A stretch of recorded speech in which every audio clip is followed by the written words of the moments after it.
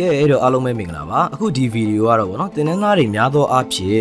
ဖြစ်လေဖြစ်တာရှိတဲ့ error တွေကတစ်ခုဖြစ်တဲ့ဒီ brush simulate pressure ဗောနော်ပန်တူးနဲ့ brush နဲ့တွဲသုံးတဲ့အခါမှာအဖျားလေးတွေချွန်မနေတာဗောဆိုလို့ရင်အဲ့ဒါကိုဘယ်လိုဖြည့်ရှင်းမလဲဆိုတဲ့ဟာလေးဖြစ်ပါတယ်ဆိုတော့အဲ့တော့အဲဆရာဒီဗီဒီယိုသင်ခန်းစာကိုအရင်တော့လှုပ်ထားတော့2015 version နဲ့လှုပ်ထားတယ်ဗောနော် Photoshop ကိုဒါပေမဲ့2015နဲ့2019 2019 18 19ကနေစပြီးသူ့ရဲ့ဒီ brush က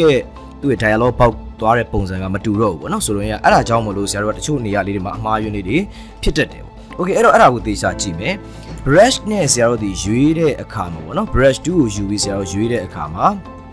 ဆရာတို့အရင်တော့2015မှာဆိုဒီမှာသူ့ရဲ့ option လေးတွေပါပြီးသားအဲ့တော့3ခုမြောက် brush နဲ့4ခုမြောက် brush ကိုရွေးဆိုပြီးပြောခဲ့တယ်ပေါ့နော်ဆိုလိုရင်အဲ့တော့ဒီ2019လောက်ကနေစပြီးဆရာတို့ version မှာကသူက folder လေးနဲ့ဖြစ်သွားပါတယ်အဲ့တော့ဒီမှာဆိုလို့ရှိရင်ဆရာတို့ဒီ general brush ဆိုတဲ့ကောင်ကိုဖွင့်ချလိုက်အဲ့မှာ soft round နဲ့ hard round ကအဖျားလေးတွေခြုံမှာမဟုတ်ဘူးဒီ soft round pressure ပါတဲ့နှစ်ခုကသာဆရာတို့ဒီအဖျားလေးတွေခြုံမှာဖြစ်ပါတယ်တဘောကအခုဆရာအနေနဲ့မှာပန်တူးယူပြီးတော့ဒီလိုပတ်လန်းကြောင်းလေးတစ်ခုလှုပ်လိုက်တယ်ပေါ့နော်ပြီးတော့တဲ့အခါမှာ brush ကိုယူတယ် brush side လေးနည်းနည်းသေးသေးရလိုက်မယ်နော် right click နှိပ်ပြီးတော့အဲဒီ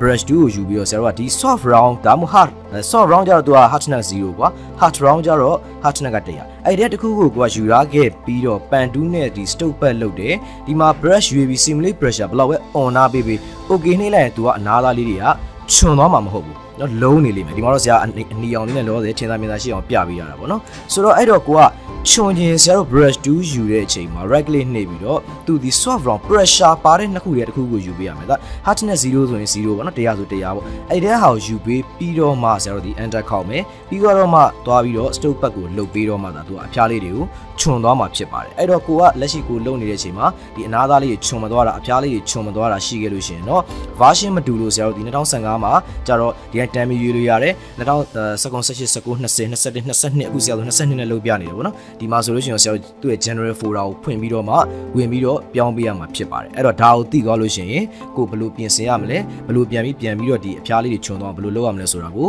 သိသွားလိမ့်မယ်ထင်ပါတယ်နော်